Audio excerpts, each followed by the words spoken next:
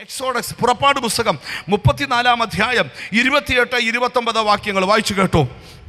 സ്തോത്രം. ഹാലലൂയ പുറപ്പാട് മുപ്പത്തിനാലിന്റെ ഇരുപത്തിയെട്ട് ഇരുപത്തൊമ്പത്. അവൻ അവിടെ ഭക്ഷണം കഴിക്കാതെയും.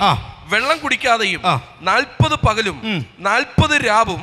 യഹോവയോട് കൂടെയായിരുന്നു. കൂടെയായിരുന്നു. അവൻ പത്ത് കൽപ്പനയായ നിയമത്തിന്റെ വചനങ്ങളെ പലകയിൽ എഴുതി കൊടുത്തു എഴുതി കൊടുത്തു അവൻ തന്നോട് അരളി ചെയ്തത് നിമിത്തം തന്റെ മുഖം മുഖത്തിന്റെ തൊക്ക് പ്രകാശിച്ചു. എന്ന മോശ നിങ്ങൾ എന്നെ ഒന്ന് നോക്കിക്കേ. നിങ്ങൾക്ക് ആഗ്രഹം ഉണ്ടോ നിങ്ങളൊന്ന് പ്രകാശിക്കണമെന്നൊക്കെ. ആഗ്രഹം ഉണ്ടോ നിങ്ങൾ നിങ്ങൾ നിങ്ങളെ കാണുന്നവര് കർത്താവിനെ കാണട്ടെ. ജീസസ് നിങ്ങൾ ദൈവ തേജസ് പ്രാപിച്ചു വേണം എന്നോടൊന്ന് പോകാൻ. ഇന്ന് തിരിച്ചു നിങ്ങളെ വീട്ടിൽ കാലുകുത്തുമ്പോൾ നിങ്ങളുടെ വീടിനെ വർഷങ്ങളായി ബന്ധിച്ച ദുഷ്ടശക്തി നിന്റെ വീട്ടിൽ നിന്ന് അലറി ഓടണം ഓ ആരുടെയൊക്കെയോ മുഖം തേജസ് കൊണ്ട് നിറയുന്നു. തൊക്ക തേജസ്. ഓ യേശുവിന്റെ നാമത്തിൽ. ഓ യേശുവിന്റെ നാമത്തിൽ യേശുവിന്റെ നാമത്തിൽ. വിശ്വസിക്കാൻ പറ്റാത്ത രീതിയിൽ ചില ദൈവ സാന്നിധ്യം വ്യാപരിക്കുക ഇതിനകത്ത്. അത് വിശ്വാസത്താൽ കണ്ടോണ്ട് ദൈവത്തിന് സ്തോത്രം ചെയ്തു തുടങ്ങിക്കേ.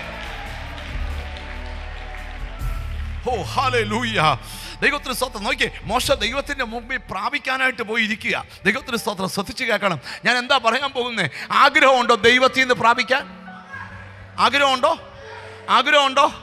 എന്നോട് ദൈവം പറയാം നിന്റെ ബെഡ്റൂമിനകത്ത് ദൈവത്തിന് ഇടപെടാൻ ആഗ്രഹമുണ്ട്.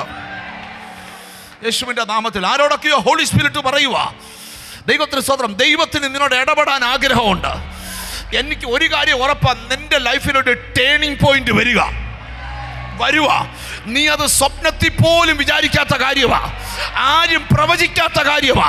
നീ ഇന്ന് വരെ ചിന്തിക്കാത്ത മേഖലയിൽ നിനക്കൊരു വഴിത്തിരിവ്. ഓ യേശുവിന്റെ നാമത്തിൽ യേശുവിന്റെ നാമത്തിൽ യേശുവിന്റെ നാമത്തിൽ. വിശ്വാസത്താൽ കണ്ടോട് സ്തോത്രം ചെയ്യും ഓ യേശുവിന്റെ നാമത്തിൽ ഞാൻ ആത്മാവി കാണുക. ചില വീടിന് മേൽ സാത്താനിട്ട മുദ്ര ഈ ശുശ്രൂഷ നടക്കുമ്പോൾ തന്നെ ദൈവം പൊട്ടിക്കുക. ഹാലലൂയ. നമ്മൾ ദൈവത്തിന്റെ അടുക്ക ചെല്ലുമ്പോഴേ പ്രാർത്ഥിച്ചൊക്കെ ആ, സ്തോത്രം ശ്രദ്ധിക്കണേ.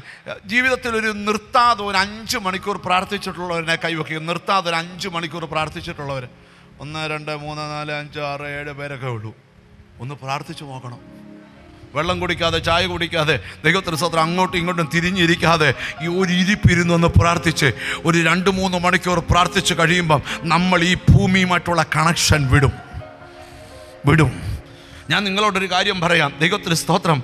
ആത്മതലം വിളി പൗലൂസ് മൂന്നാം സ്വർഗം വരെ പോയെന്ന് പറഞ്ഞാൽ അതിനർത്ഥം എന്തുവാ? അവൻ പ്രാർത്ഥനയുടെ നിറവ് പ്രാപിച്ചെന്ന അർത്ഥം.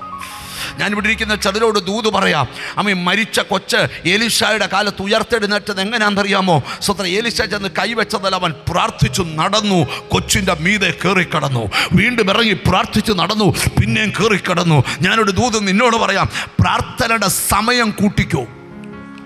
ഒരു അസാധാരണ വ്യക്തിയായിട്ട് മാറാൻ താല്പര്യമുണ്ടെങ്കിൽ പ്രയറിന്റെ ടൈം കൂട്ടിക്കോ. ഒരു സാധ്യതയും ഇല്ലാത്തടത്ത് അത്ഭുതം നടക്കാൻ പോവുക യാതൊരു സാധ്യതയുമില്ല നിന്റെ വീടിനെ നോക്കി പ്രവചിക്കണം. നിന്റെ തലമുറയെ നോക്കി പ്രവചിക്കണം. നിന്റെ ബിസിനസ്സിനെ നോക്കി പ്രവചിക്കണം. നിന്റെ കുഞ്ഞിനെ യെസ് ഓ എത്ര പേർക്ക് അതിന് ആമിയും പറയാൻ പറ്റും? ഞാനൊരു രാജ്യത്ത് വചനം പറയാൻ പ്രസംഗിക്കാനായിട്ട് ചെന്നപ്പം സ്തോത്രം. അവിടുത്തെ മോന് സ്തോത്രം. അമ്മി ദൈവത്തിന് സ്തോത്രം. അവന് വീൽ ചെയറിലാണ് യാത്ര ചെയ്യുന്നത് അവന് വീൽ വരാൻ പറ്റത്തുള്ളൂ. കാര്യം അവന് സ്തോത്രം ചെറുപ്പത്തിലെ പോളിയോ വന്ന് അവന്റെ കാൽ മടങ്ങിപ്പോയതാ. രണ്ട് കാൽ നൂരത്തില്ല സ്തോത്രം. അവന്റെ അമ്മ പറഞ്ഞ എന്റെ പസ്ത്രേ എന്റെ കൊച്ചിനെ കാണാൻ വരുന്ന ആൾക്കാരെല്ലാം കരഞ്ഞേച്ചു പോകുമായിരുന്നു സ്തോത്രം. മേഴ്സി മേഴ്സിക്ക് ഇങ്ങനൊരു ഗതികേട് വന്നല്ലോ. മേഴ്സിക്ക് എന്തോ ജന്മഭാവമാണെന്നൊക്കെ ചോദിച്ചപ്പോൾ ആ പുള്ളിക്കാരത്തി പറഞ്ഞു എല്ലാവരും പോകുമ്പോൾ മേഴ്സി ചെയ്യുന്നൊരു കാര്യമുണ്ട്. കൊച്ചിനെ നോക്കി പ്രവചിക്കും നീയാടാ വീടിന്റെ രാജാവ്. ഓ നിങ്ങൾ ശ്രദ്ധിക്കണം. നിന്നിലൂടെ അസാധാരണ പ്രവർത്തികൾ നടക്കുവാണെന്ന് ഈ അമ്മ മോനെ നോക്കി പ്രവചിക്കുക. വരുന്നവരെല്ലാം ഓരോ നെഗറ്റീവ് എനർജി പറയുക ഒരിക്കലൊരാൾ വന്നപ്പം പറഞ്ഞു ദൈവത്തിന് സ്വത്രം അവനൊരു വീൽ ചെയർ നമുക്ക് വാങ്ങിക്കാം. വീൽ ചെയർ വാങ്ങിച്ചാൽ പോരാ. അതേ ചെറിയ മോട്ടറുള്ള വീൽ ചെയർ പഠിക്കാം അതിനിടയ്ക്ക് അവർ രജിസ്റ്റർ ചെയ്തിരുന്ന സ്ഥലത്തേക്ക് അവർ പോയി. സ്തോത്രം. അവിടെ ചെന്നപ്പോൾ ആ ടെക്നോളജിയിലുള്ള വീൽ ചെയർ ദൈവത്തിന് സ്തോത്രം. വീൽ ചെയറുകൾ അമ്മ ദൈവത്തിന് സ്തോത്രം. അമ്മ വാങ്ങിച്ചു. ചുരുക്കി പറയാം. അവൻ ഇന്ന് ഒരു ബിസിനസ് നടത്തുക. രാവിലെ അവന്റെ വീൽ ചെയറിൽ അവന്റെ വണ്ടിക്കകത്ത് കയറും. ദൈവത്തിന് സ്തോത്രം. ഒരാൾ അവനെ ജോലി അവന്റെ അവന്റെ ബിസിനസ് ചെയ്യുന്നിടത്ത് കൊണ്ടുപോകാൻ ദൈവത്തിന് സ്തോത്രം. അമ്മ സഹായിക്കും. അവന്റെ അമ്മയോട് പറഞ്ഞു ഇവന്റെ മൂത്ത രണ്ട് പിള്ളേരുണ്ട്. അവന്മാരുണ്ടാക്കുന്നതിന്റെ മൂന്നിരട്ടി കാശിവൻ ഉണ്ടാക്കും മനസ്സിലായോ? മറ്റവന്മാർക്ക് രണ്ട് കാലിൽ ഒരു കുഴപ്പമില്ല ഇവന് രണ്ട് കാലിനും കുഴപ്പമോ. പക്ഷെ ഇവന്റെ മേൽ പറ ഉണ്ടാകാൻ കാര്യം എന്നാ ഞാൻ ഇവനെ നോക്കി പ്രവചിച്ചതാ. ഞാൻ ചോദിക്കാം ഒരു അമ്മി ഒരു കഴിവുമില്ലാത്ത നിന്റെ കുഞ്ഞിനെ നോക്കി നിനക്ക് പ്രവചിക്കാവോ? പ്രവചിക്കാൻ പറ്റുമെങ്കിൽ നിനക്ക് വിശ്വസിക്കാൻ പറ്റുമെങ്കിൽ നീ പറയുന്നത് നിന്റെ വീട്ടിൽ നടക്കും. നീ പറയുന്ന പോലെ സംഭവിക്കും. ആരെല്ലാം നിനക്കെതിരെ എഴുന്നേറ്റാലും ആരൊക്കെ നിന്നെ തകർക്കാൻ എഴുന്നേറ്റാലും നീ വിളിച്ചു പറയണം അല്ല അതിനെ ഒക്കെ ഞാൻ ജയിക്കും.